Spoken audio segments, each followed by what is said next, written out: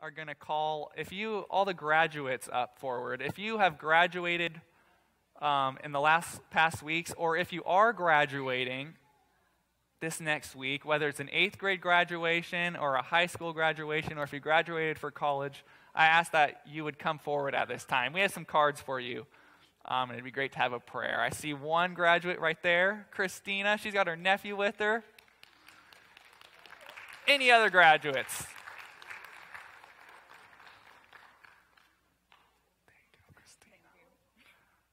Some of the eighth graders might be in the back, but if we don't have any other graduates, if you are graduating, come forward.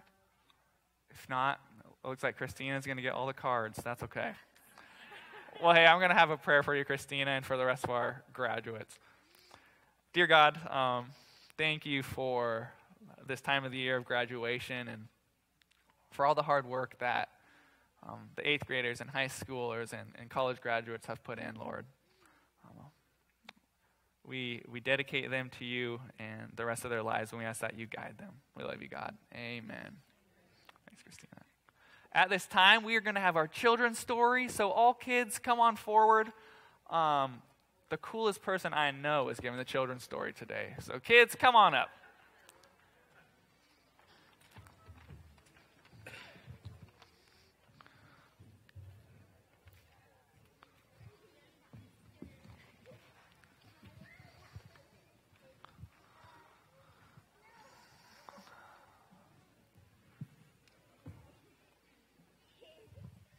All right, boys and girls. All right.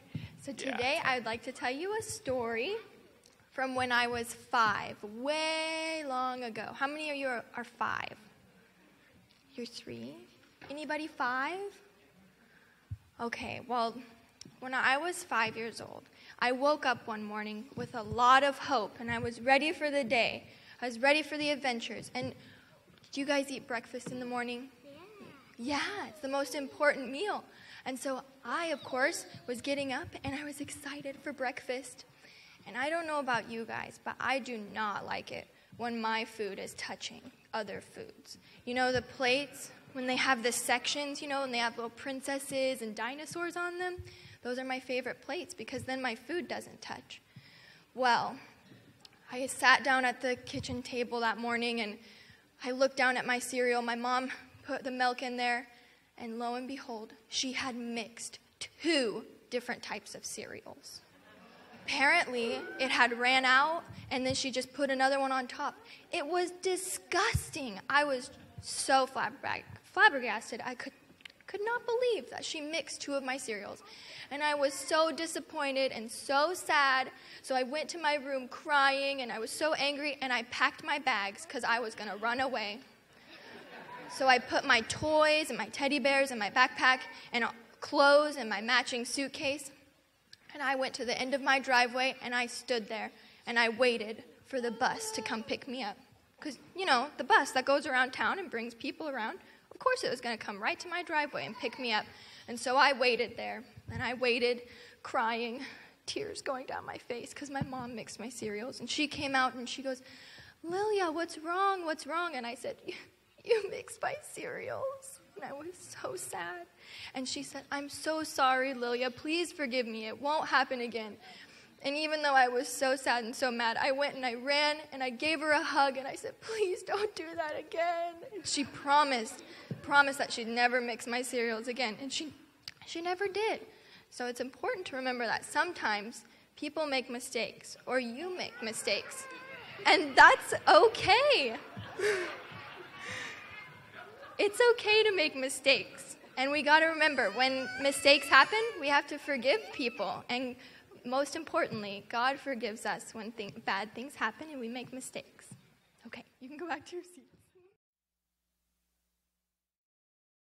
Um, first of all, I just want to thank you so much for being my church family. Um, we're new here, we've only been here a couple months, but I was able to count on you guys to pray last two weeks ago when my nephew was rescued from the Columbia River. Um, so now you have that connection. um, he's doing really well. Um, he is in the mental unit uh, at St. John's. Um, but please continue to keep him in your prayers. He's doing really well, and God is good. God has got his back, as he told the boats that went by every time they'd try and rescue him, and he'd say no. he's got a, a huge faith, um, which is what I wanted to kind of go with, where I wanted to go with this. Um, he kept telling the boats that came by, No, God's got my back. God's got my back. And my thinking is, well, he sent you three boats, you know, but, but at the same time, um, his, his faith was huge. And, and it just kind of reminded me, as I thought about what Mitchell went through, that we can't put God in a box. And he's going to be there. He's going to rescue us. He's going to answer our prayers. We don't know how or why. I mean, he's, we know why because God is God and he's got a plan. But, um, but he's just, he's so big and he's so great. And we can't sit by and, and wait for him to answer our prayers the way that we think he should answer our prayers or you know show himself himself faithful the way we think and i just don't want to miss the boat and and my prayer is that that you guys don't either that we just keep our eyes open so let's pray together i just ask if you would like to come forward um, and or kneel where you're at um, stand raise your hands hit your knees however the Holy Spirit's leading you to pray, I would just invite you to do that now. Let's pray together.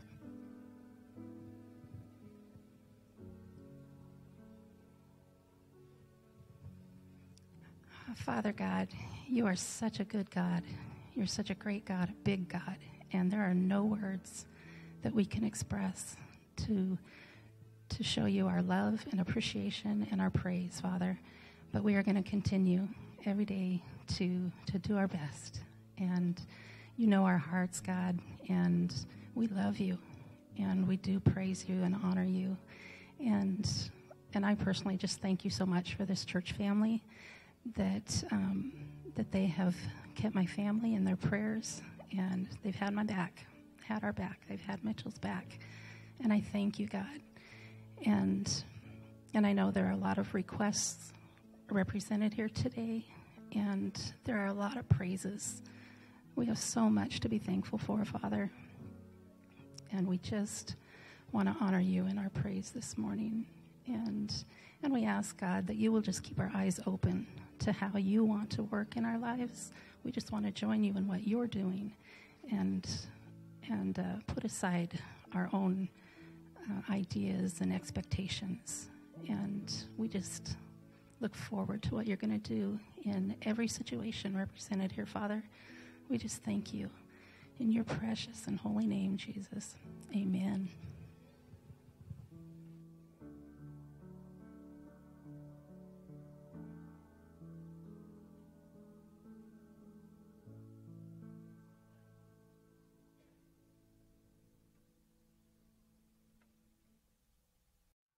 To be in Exodus 18 this morning. So if you have a Bible, go ahead and grab one. Exodus 18.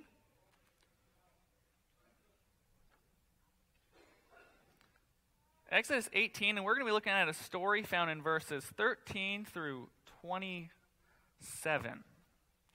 Exodus 18, looking at a story found in verses 13 through 27. And the story goes like this It says, The next day Moses sat to judge the people, and the people stood around Moses from morning until evening.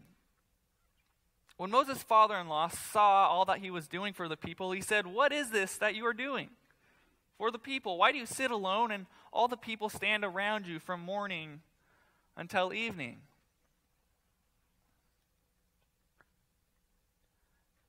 We could get the clicker, that'd be great.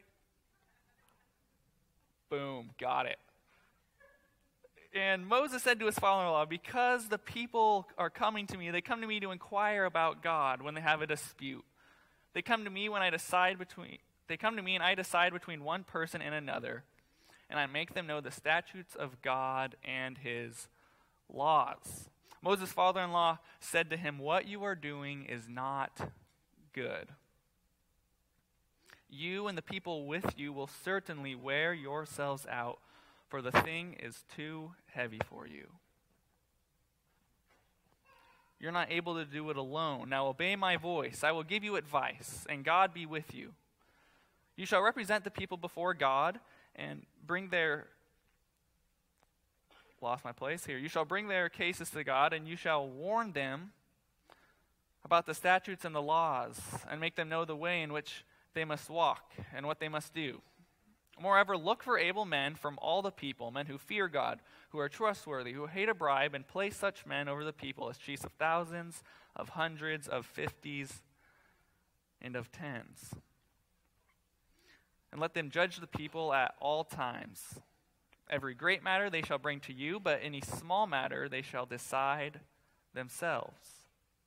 So it will be easier for you, and they will bear the burden with you. If you do this, God will direct you and you will be able to endure, and all of this people also will go with you to the place in peace. So Moses listened to the voice of his father in law, and he did all that he had said. Moses chose able men out of all of Israel, and he made them heads over the people, chiefs of thousands, of hundreds, of fifties, and of tens. And they judged the people at all times. Any hard case they brought to Moses, but any small matter they decided themselves. Then Moses let his father in law depart, and he went away to his own country. So we're going to be looking at this passage uh, verse by verse. So we're going to be here for like four hours. Um, no, we're not going to look at it verse by verse, uh, but we're going to look at the overall story, and we're going to hit a lot of those, a lot of those verses. And as we do, I'd like to talk today uh, on the idea that we need each other that, that we, the Journey Church, um, if we're going to keep doing these great things that God has, has been having us do, and if we're going to keep following where God is leading us, that we need each other. As we begin, I'd love to have a word of prayer, so if you'd join me. God, um, thank you for this day and for this moment and for these people here. Uh, thank you for all that you've done for us, Jesus, and that we can study your word. Um, as we study it, I ask that our hearts and minds would uh, be open to the message. We love you, God. Amen. Sorry, I think I'm getting a little feedback on my cheek here. The mic's a little close. Um, well, hey, for the first couple years in college, I worked as a custodian. And apparently, they called me the urinal cake boss in some movie. This is a screenshot I don't know why. Apparently, I was good at cleaning the urinals or something. Um, but that's what I did. I spent my time as a custodian. And the first year, my freshman year, I worked in the, in the boys' dormitory. And I didn't really have a specific job, right? Everyone else had something specific to do except for me. Uh, for instance, one, one person's job was to clean the bathrooms. Uh, that's what you call a bummer, okay? Uh, another guy's job, his job was just to clean the showers. And another guy's job, who we all envied, was just to vacuum all the halls. It's like bathrooms or vacuuming. It's a hard one, you know? Uh, but, but everyone else had something to do, and I just did whatever my supervisor told me to do. Uh, for instance, he'd say, Evan, go and scrub the walls in the dorm. So I'd go and I'd scrub the walls. Uh, or he'd say, Evan, go clean out the vents in the shower. So I'd I clean out the vents. And, and one time he told me, Evan, I want you to spend this week cleaning or scrubbing the bathroom floors. So every day after classes, for two hours a day, six days a week, I'd scrub the floors. 12 hours. And the next week he came and he looked at the floors and he said, scrub them again. So I was like, all right, sure. So I was the guy that did whatever needed to be done, whatever my supervisor told me. Uh, at the end of the year, uh, I got a call from my supervisor. He's like, Evan, I'm graduating this year. You like my fake phone here? Pretty good. It's like, I'm graduating here, and uh, we need someone to take my job as supervisor next year, and, and, and I'm recommending you. And I was like, what? I was like, sure, you know, I'll take it. Take the job. So that next school year, Evan, the young lad who did whatever needed to be done, now was the supervisor I felt pretty cool. Now, now some people think when you're the supervisor, you, you feel cool because of that title, the supervisor, right? But that's, that's not why I felt cool. What made me feel cool was when the top boss, her name was Anne, that first day I walked in, she handed me a set of keys. Yes. Keys that unlocked every janitorial door in the boys' dorm. I felt pretty cool. Have you ever received your first set of keys before? Maybe to your, to your first car or your first apartment.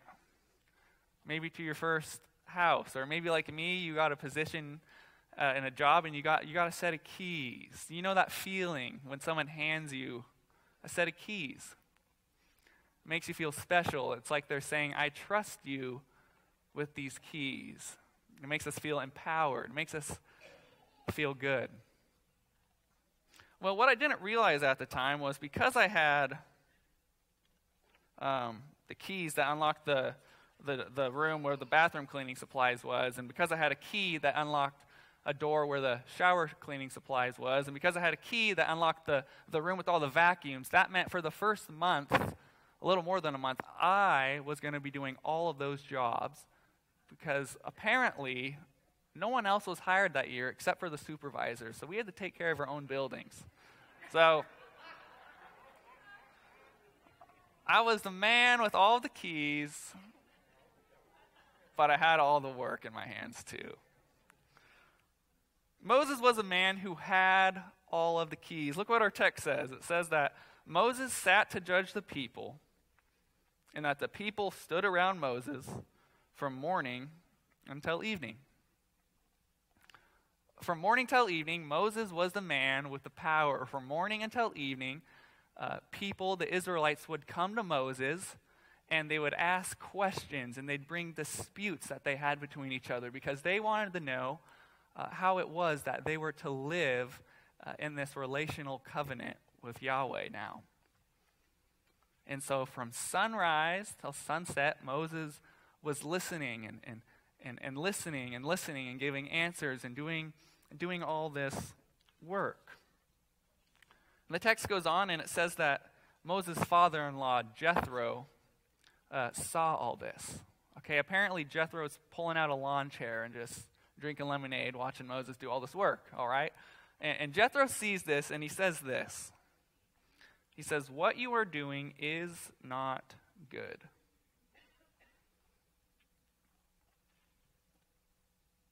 He says, Moses, what you're doing is not good. And he goes on and he says, You and the people with you will certainly wear yourselves out.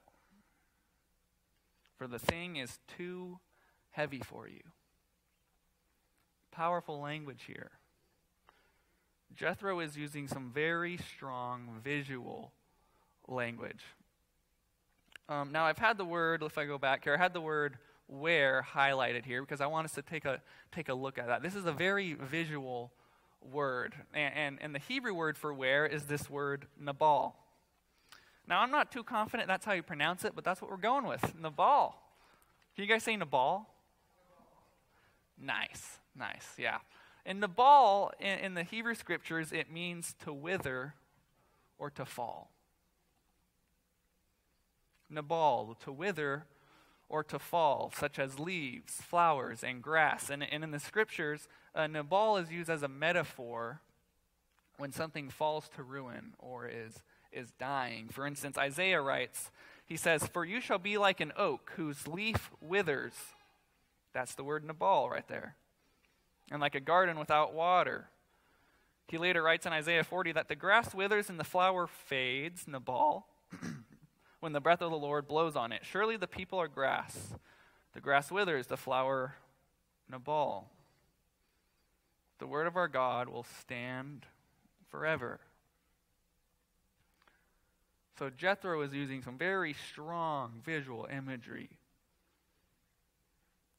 He's saying, Moses, if you keep holding on to all of the keys, if you're the only leader, if you're the only one doing all this work, not only you, but you and everyone following you, all of the Israelites, are going to wither and fade away.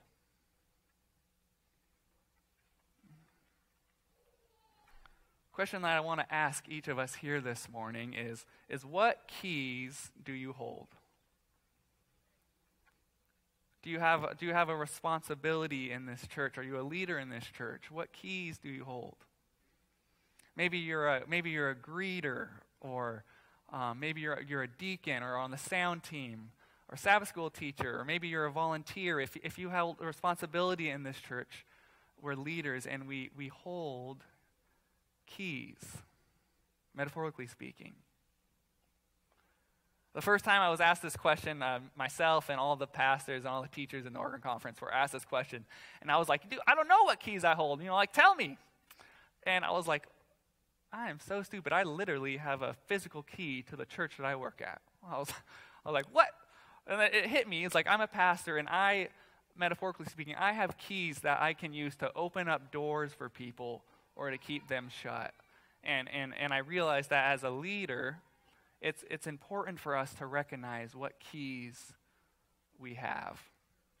We need to recognize that.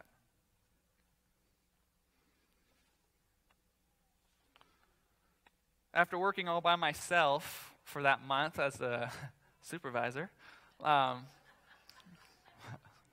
I tell you, um, after working for a month and a couple weeks, um, the, the boss, and she sent over three other guys to come and help me and thankfully, yeah, my my life got a lot better, um, easier.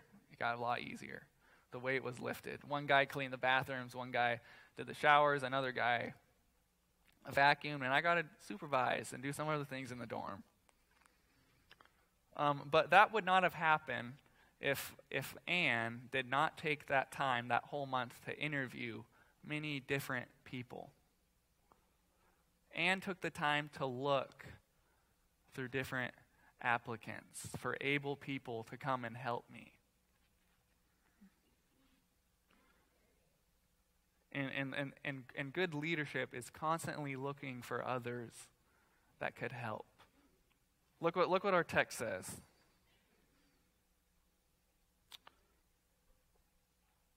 I think I skipped a page. Sorry, guys. One second. It says this. It says, uh, Mo- this is Jethro speaking. First of all, he said, Moses, what you're doing is not good. If you keep doing this, you're going to wither and, you, and you're going to fade away. Now he says, Now obey my voice. I will give you advice, and God be with you. You shall represent the people uh, before God and bring their cases to God. And you shall warn them about the statutes and the laws, and make them know the way in which they must walk and what they must do. Moreover, look. What's that word there? Look for able men from all the people, men who fear God, who are trustworthy, who hate a bribe, and place such men over the people as chiefs of thousands, of hundreds, of fifties, and of tens. Jethro tells Moses to look for able men. Why is this important? Why is this important that as leaders, if we're leaders in the church, that we should be looking for other leaders? Why is this important? Well, well Jethro has already said if we don't do this, the negative thing is we're going to wither, we're going to fade away. But he has some good news if we do do this. Jethro says, if you do, if you look for other leaders, this is what he says. He says, If you do this, God will direct you, and you will be able to endure, and all the people also will go to their place in peace. Moses delivers the Israelites out of, out of slavery, and where are they headed? They're headed to the promised land. And Jethro says, hey, it's going to go two ways here. You guys, you guys can look for other leaders and get there peacefully, or it's going to be a tiring journey there. Journey Church, if, if we want to if we want to do amazing things for the kingdom of God, if we want to keep doing amazing things, uh, we need to be looking for the gifts that God has given us. We need to be looking for other leaders, which isn't an easy thing to do. Look what Jethro says. He says that he asked Moses to look for men from all the people. And later it says that, that Moses followed the advice, and he chose able men out of all of Israel. There was probably, some people think, two, uh, two million Israelites at that time, roughly 700,000 men. So Moses isn't just spending 30 minutes looking for people. No, he's spending weeks and months looking for able men. Now, some of you may be thinking, man, I'm not even a leader in this church. This is my first time here today. And if you are, if this is your first time here, we're so glad to have you guys here. Um, welcome. Um, and if you're thinking this sermon is not for me, I'm not a leader, I don't, I don't even, I haven't even helped out. Um, this sermon is for you and it's for all of us. If you're a leader, first off, let's be looking for people to, to, that can do the work that we do. And if you're not a leader, but you're wanting to be invested in the church, if you're wanting to volunteer, if you have a gift and you're wanting to help out, please make yourself known. Let yourself be seen. Um, I think I, am not sure how many months. I think we're going on eight months that I've that Rick and I have been here. I mean, from those past eight months, I have fallen in love uh, with you people at this church and at this school. Um, and I fall in love with, with the kids at this school and at this church. And some of you are thinking, like, I did not know someone else could love my kids, you know?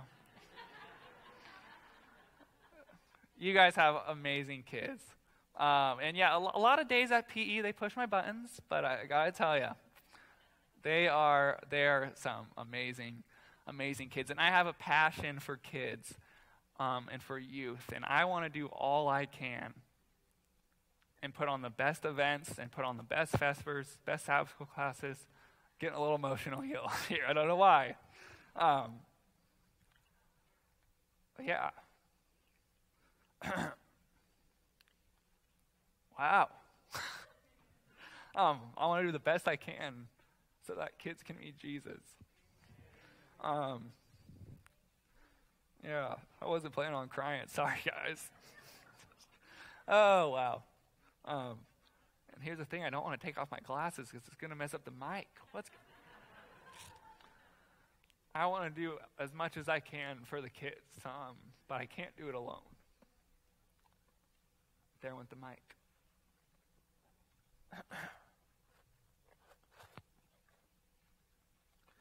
and we have leaders.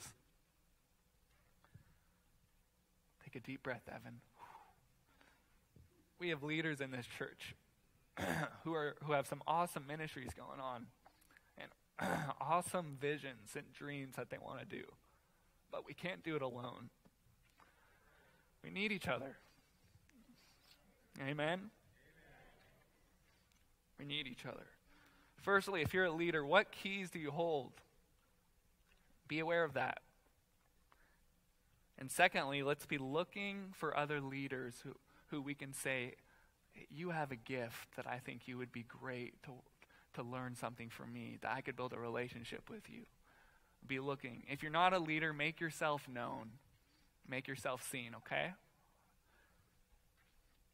Um, and, and, a little side note here, not really a side note, this is a good point, um, a main point.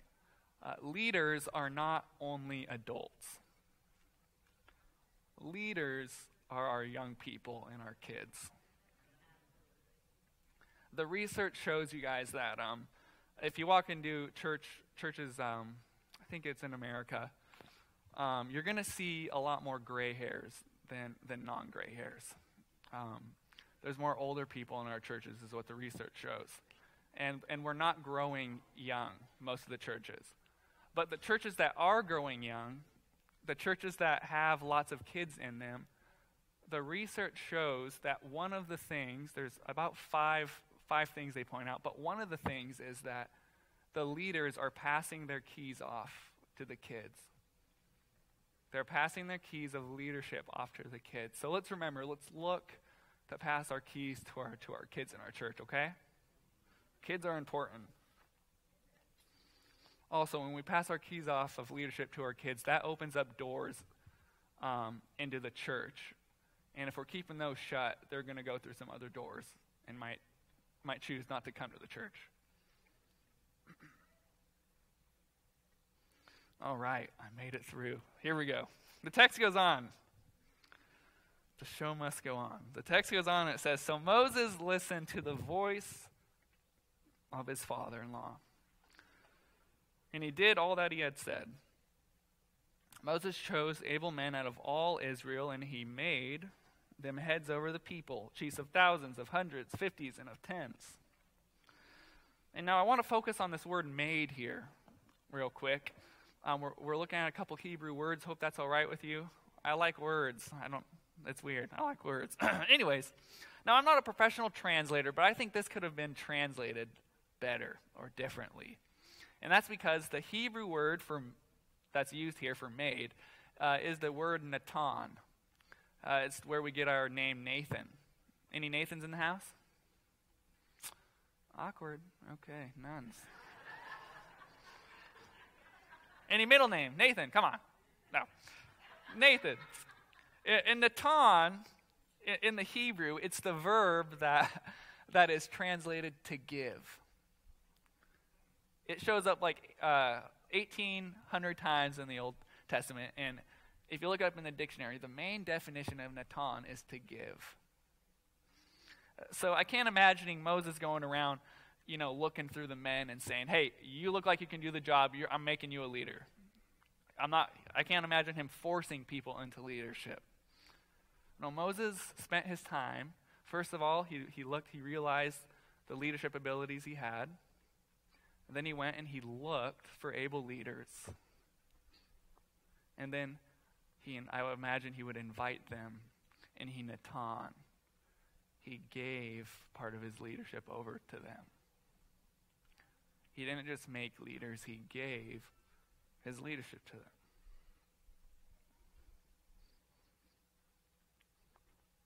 If you're a leader, I encourage you to, as you recognize what it is, what your leadership position is, after you look, I encourage you to take that step to invite someone into the opportunity of, of serving the ministry that you serve. And, and, and part of giving, what's on the opposite side of giving? Receiving. It might be scary if someone invites you to, to participate in their, in their ministry or in their passion. Um, and instead of, instead of saying no right away, maybe, maybe pray about it or maybe give it a maybe give it a shot for a couple of weeks. If you if they if someone invites you and you receive that, you can try it out, and if you don't like it, you can just say, you know, it's not for me. But if you're if you're a leader, I want I want I want us to be praying that we would that we would find and see people who we could invite into our into our ministry. And if you're not a leader, I encourage you to be praying that God would would put something on your heart to, to find a ministry that you want to be involved with. First off, let's be aware of the keys we hold. Secondly, let's look for other leaders. And thirdly, let's give our keys away. Not just make and force leaders, but let's give our leadership away. Um, at the, just going to conclude here real quick. Um, after those three guys came to to work with me, yeah, like I said, a lot of my work was taken from me, and my life was a lot less stressful and a lot less work. Um, but one of those guys, his name was Eric. And Eric was the guy who drew the short straw. He had to clean the bathrooms. Um, and I and I had my own keys, and I gave I physically I gave them all keys, but Eric got a set of his own keys, and he did an amazing job cleaning the bathrooms. He made mistakes, but he did a great job. And that next year, Eric actually became a supervisor himself in another building. Uh, and and what would happen, he would receive his own supervisor keys, and then he would pass his keys out to other people. This is how biblical leadership um, um, runs. It's how biblical leadership works. The truth is, the story we looked at this morning is a great example of that, but it's all throughout Scripture. When God created humankind, He created Adam the first, one of the first things he does is he gives him the job to name the animals, a job that God could have done himself. He tells Abraham, I'm going to make a great nation out of you. I'm not going to do it by myself, I'm going to do it through you.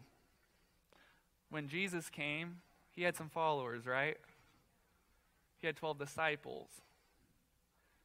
In Luke 10, it says he sound, sends out 72 people to go and do ministry. Leadership through the scriptures is not about one person doing everything, but about leaders making other leaders and then making other leaders. God has done great things through humans in the past because that's how his leadership works, and he wants to do great things through each and every one of us here at the Journey Church. Amen. To do that, we need each other. Thank you.